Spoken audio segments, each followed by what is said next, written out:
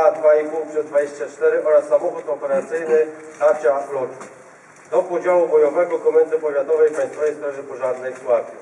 Wprowadzenie samochodu do podziału bojowego wymagało wcześniejszych prób i testów mających na celu usunięcie ewentualnych usterek, odbycia szkolenia w zakresie właściwej obsługi i konserwacji pojazdu oraz sprzętu.